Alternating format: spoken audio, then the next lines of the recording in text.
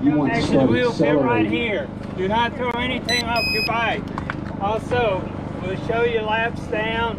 At four to go, no more free laps. Do not throw anything off your bike. Number one, safety in that corner. Down there too. Yeah. If you're gonna if you're gonna pull yourself out, let one of us know. You know that you're out of the race. Good too.